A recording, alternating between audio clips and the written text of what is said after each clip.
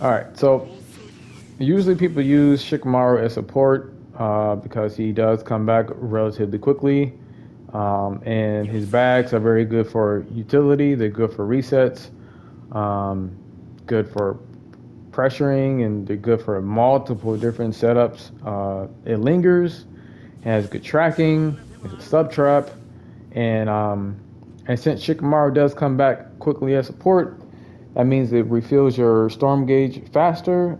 And when your storm gauge becomes active, Shikamaru, uh, you get your support back and then you, you can just call them again. So it just makes it a very long day. Um, and you will always have to be fighting Shikamaru throughout the match. That much is true. Okay, so yeah, he's very good support. I will say that. But I don't think he's better. Uh, number one, I think that there are other supports that come back uh, just as fast. Some come back faster. Jiraiya uh, comes back really fast.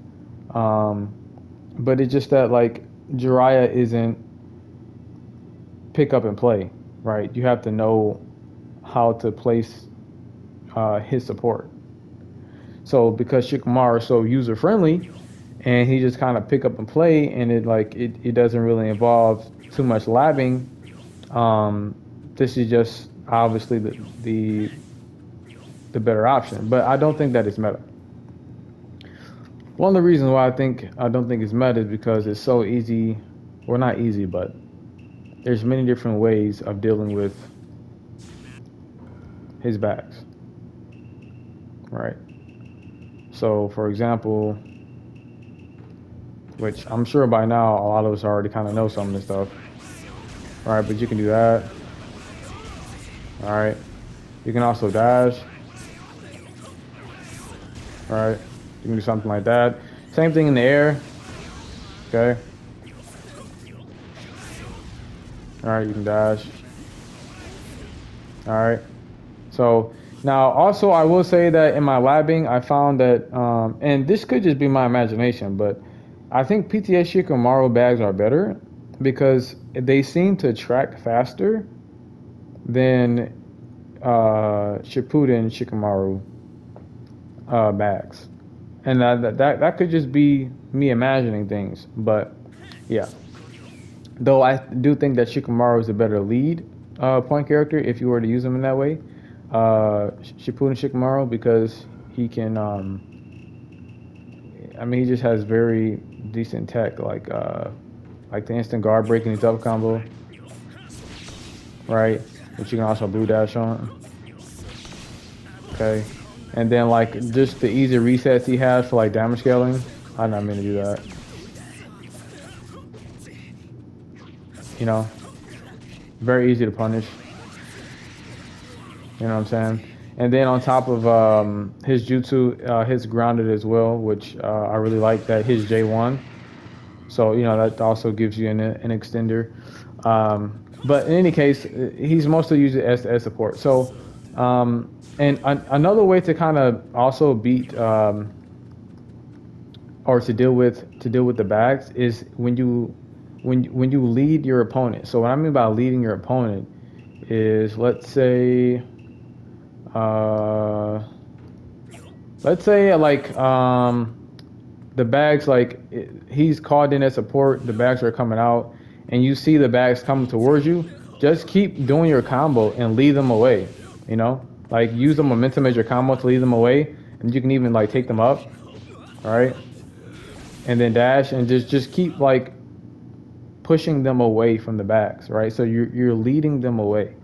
Uh, so that's one way to deal with it. You can also um, complete your combo or whatever, all right, to cancel it out, or you can just dash, grab if you see them coming. But that's all kind of situational. Um, most players, when they use Shikamaru support, they're doing it to approach. And in cases like that, you can deny the play.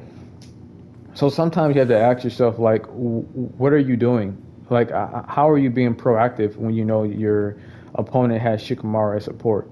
Right? Like, are you denying the plays or are you just waiting uh, for the bags to like uh, complete, or like you're waiting for it, um, the jutsu to just go away or something, or you're just standing still? You know, like if you see the bags coming or the support called out, you can deny the play by switching out of the tracking, right? Or if you see the bags come up, dash switch, which will break the tracking still, and then just follow up, right? Or you can jutsu your way out of it, right? You see the bags coming, like deny the play, right? So like let's say the opponent is on, uh, because usually like in S4, S4 you have a very typical approach with Naruto the Last, right? Where back back in the day, right? You would do something like that. I forgot this dude has a a J1 and J2. Do something like that, right? And then you would you would approach, like you would follow up, right? But in a situation like that, you can deny the play by just clearing out this jutsu, right, with the jutsu that has more priority. So deny the approach. Okay. So if they do that and switch, well now I'm trying to play with two hands. But if they do that and switch, and I'm not fast enough because I like I'm trying to play with two controllers. But the point is, if they do that, right, you can just call out a fireball, clear out Naruto, right, and deny deny the approach. But I'm just saying like that's a very basic example, but what like what are you doing to deny the play? You know? Like you see a lot of times, even in competitive sets, players like uh, the, a typical team like Hanzo, Temari, and, Sh- and Shikamaru. And you know Shikamaru supports caught out, whatever, they're just staying on Hanzo. You know, they're not trying to break the tracking. They're not trying to do whatever. They're just you know, but you you have options. So if you see your opponent has Shikamaru support, you might have to be a little bit more proactive in, in your gameplay you might have to you know start like denying the plays denying you know their their uh, follow-ups denying the jutsu shikamaru has no priority on, on these bags have no priority. All right dashes go through them. Uh, other jutsus beat them. You know? So you, you see these coming you could ju- just do a jutsu and, and, and, and beat the priority. Because these things have very low priority. You know, um, another thing too, you might have to play a little more patient. So if you see the bags coming, don't sub. Let let let them hit you. Like if you're caught in a combo, and they call out the well, if you're in combo, and they call out Shikamaru support, and the bags are coming and they hit you, you don't have to sub sub it, right? You don't have to waste the sub. Just let the bags hit you and just let let it reset to neutral. And just you know, follow back up with a, an, another play. You just might have to play a little patient. So like let the bags confirm, let, let, let them let them hit you, and then make you know go ahead and uh, make a, a a new approach. So it's just like you might have to play more patient Another thing you could do is if you see them, they uh, they call out their support, Shikamaru support, you can call out your support, whether that be like Momoshiki, um, Temari, or Pain. Like I, I mean, I don't know, you know, whatever you have. To again deny the approach, okay? Because now they have to respect your support. You know, so it's like uh, it's just you have many different options that you can you can do.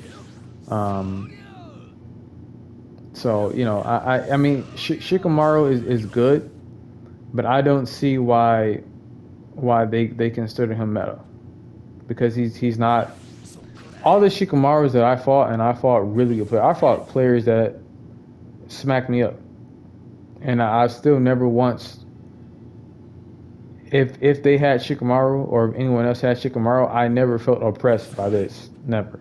I never felt oppressed by somebody calling out Shikamaru bags. You just have to play differently.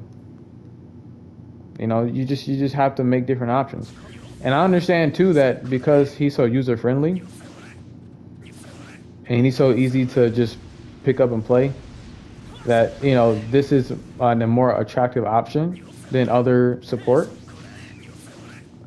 But um, you know, that just kind of goes back to labbing. Lab labbing the game and labbing these other characters and what they're good at and and how to how to use them in the neutral you know? Um lear- learning uh you know their uh cooldown times which I- i'll post the the uh the spreadsheet in the description of all the character cooldowns you know? And finding like just different characters and and and what these other characters can do and what makes them great you know there, there's there's plenty of good options out there. There's options that are better than much better than shikamaru in my opinion. Um you know it just comes down to that. I think one of the one of the major issues with storm connections as far as like player growth uh, like skill wise or gameplay wise is that when the game first came out, everybody hated it so much. It was so much negativity. And so nobody put in that kind of time, at least from what I, I could see. Well, not I wouldn't say everybody. But a lot of people weren't putting in that kind of time like they did in S4 when they were labbing, they were coming up with teams, they were like really breaking characters down and seeing how they worked and trying to understand the game. I didn't really see that at, at the launch of Storm Connections.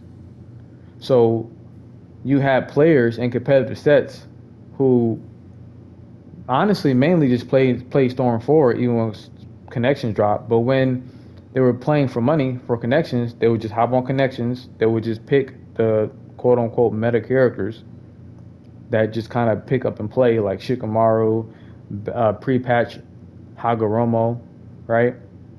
And just go and play the competitive set. So you just saw the same characters all the time because I mean nobody even bothered to lab anything else, right? They would just just pick just pick Hanzo, just pick Shikamaru, just pick Hagoromo because they work.